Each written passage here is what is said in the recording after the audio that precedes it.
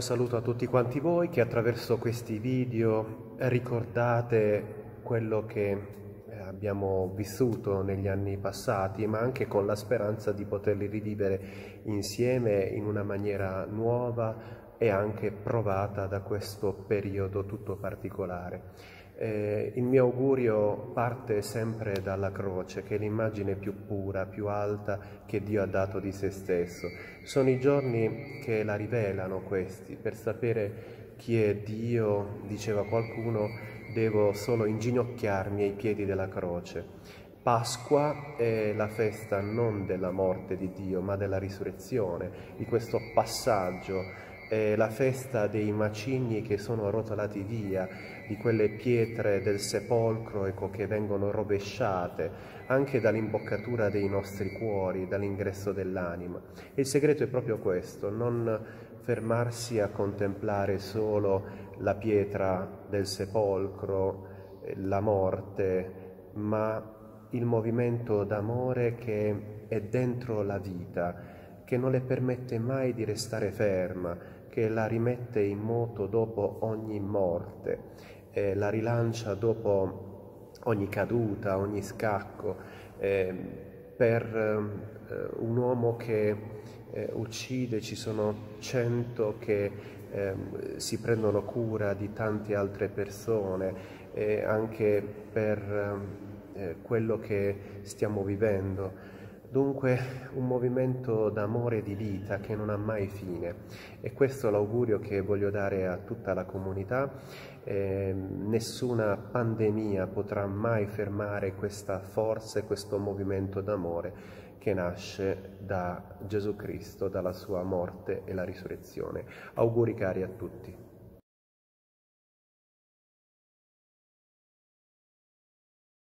Carissimi, all'inizio di questo secondo appuntamento vi saluto a nome degli amministratori del gruppo aspettando la festa d'aprile e vi ringrazio per aver deciso ancora una volta di seguirci. In questo secondo ed ultimo appuntamento andremo a rivivere la processione del Cristo morto e della Dolorata che di fatto conclude i riti della settimana santa a Castellana. Uh, questa processione viene organizzata dall'omonima confraternita della Dolorata e di Santo Onofrio che è la seconda più longeva nella storia di Castellana dopo la Ciconfraternita del Santissimo Sacramento e ovviamente considerando quelle attualmente esistenti.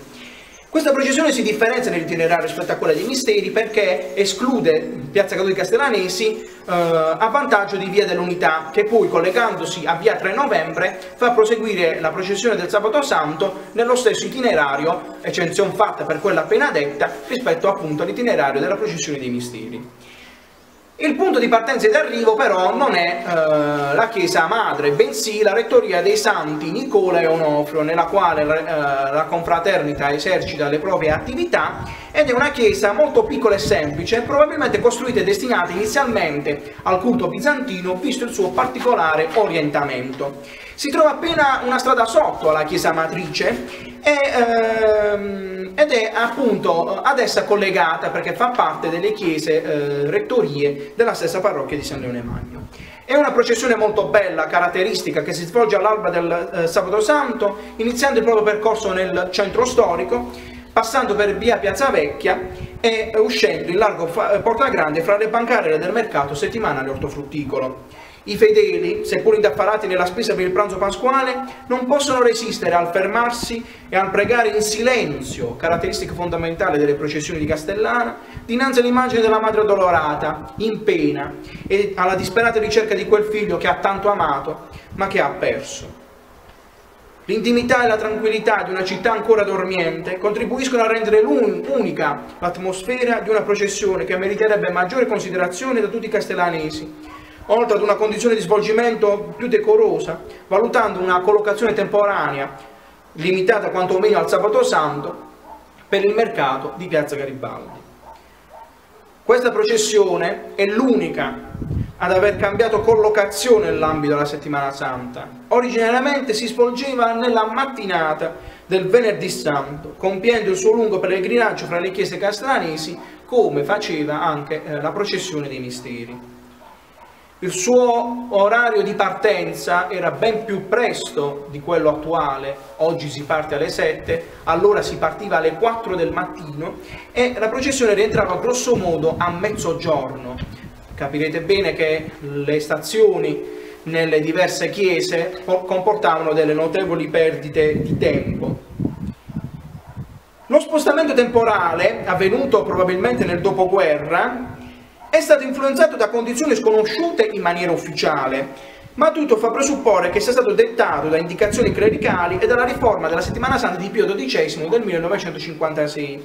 Oltre a questo, probabilmente l'abolizione della messa del sabato santo mattina e l'accentramento del culto della dolorata nella giornata del sabato santo, nonché un'incongruenza temporale, infatti far uscire la statua di Gesù morto nella mattinata del venerdì santo, quando la liturgia avrebbe vissuto poi, eh, commemorato la morte di Gesù nel venerdì pomeriggio, era sicuramente un'incongruenza eh, di carattere temporale, per cui questa motivazione avrà portato molto probabilmente allo, eh, a questo tipo di variazione.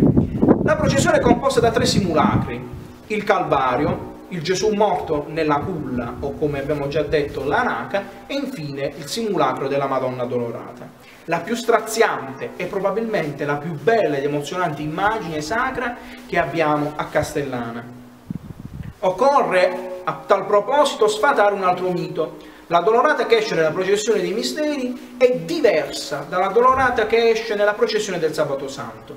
Abbiamo detto nel precedente video dedicato alla processione dei misteri che a Castellano abbiamo tre immagini dedicate alla Madonna Dolorata. La terza è quella che attualmente si trova nella parrocchia del Carosino.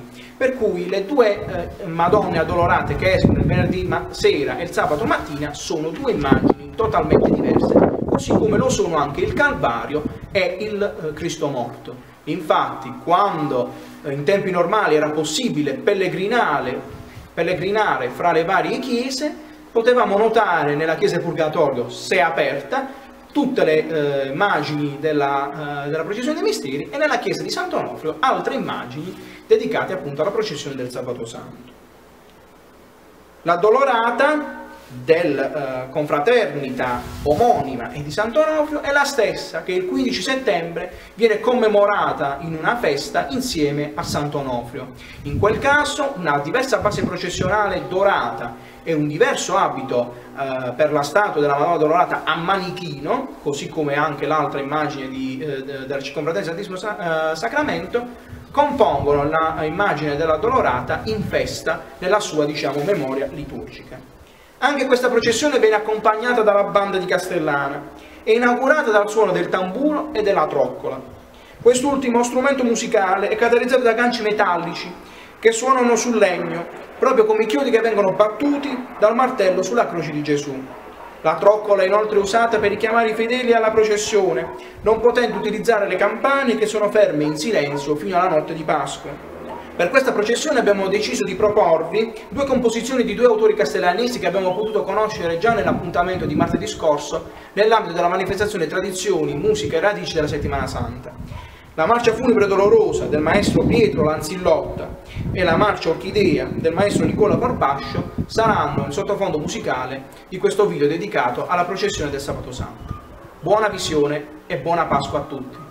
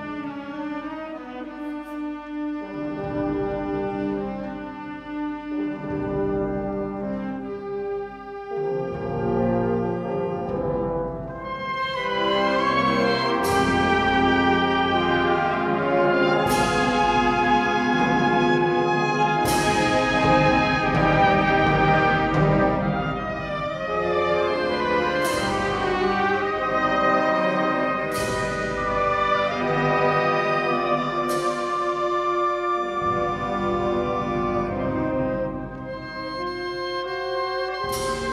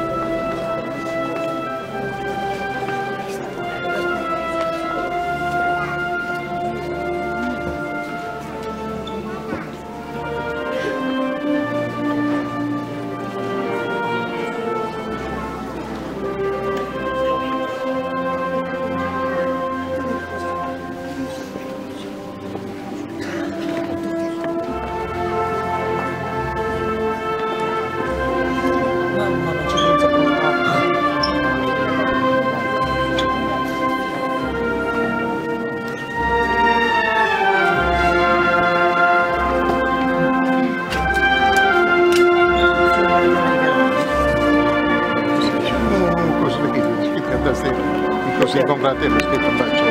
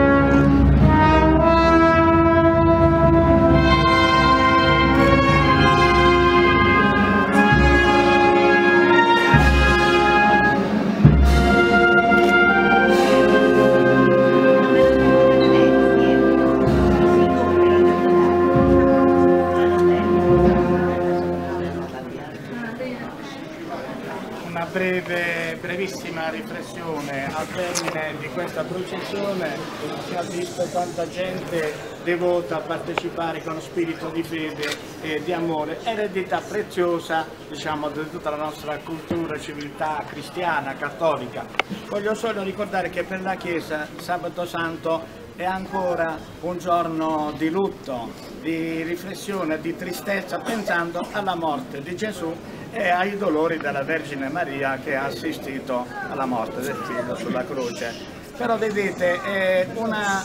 lo so che gli anziani specialmente ricordano quando a mezzogiorno del sabato santo c'era uno scampanio festoso in tutti i paesi, quindi si acceleravano le operazioni della risurrezione di Gesù perché non ci piace pensare alle cose tristi, alle cose impegnative, scomode per la nostra vita. Però guardate, e questo voglio lasciarvi questo pensiero, la passione del Signore la dobbiamo vedere in una dimensione positiva. La Pasqua di Gesù è già in- iniziata. Perché Gesù è morto sulla croce? Per insegnarci una cosa semplicissima, che noi siamo egoisti, che riponiamo la nostra fiducia nella ricchezza, nel potere, nei privilegi, nello sfruttamento degli altri, nell'egoismo in una parola. Gesù con la sua morte e, ha voluto morire per essere fedeli, fedele ai suoi insegnamenti fino all'ultimo. Questo è il bene che ci ha voluto. Voleva dirci, guardate, che se voi seguite la vostra strada dell'egoismo, dell'interesse personale, vi rovinate Invece lui ci ha dato l'esempio, oltre all'insegnamento, di essere fedele, coerente al suo insegnamento di povertà, di umiltà, di rinnegamento di sé, di, di ricerca dell'ultimo posto, di servizio. Non dimentichiamo, avanti, avantieri abbiamo ricordato la lavanda dei piedi, il figlio di Dio che si umilia e non si vergogna di lavare i piedi, un gesto riservato agli schiavi per amore verso i discepoli. Quindi la via del servizio, la via del dono di sé, anche se apparentemente va contro di noi, è contro il nostro, contro la nostra tendenza naturale, però è l'unica via che dà senso alla nostra vita e contribuisce anche al miglioramento della vita sociale. Beh, questa è la riflessione che vi lascio, pensateci in questo giorno e diciamo di, di particolare impegno anche da un punto di vista spirituale.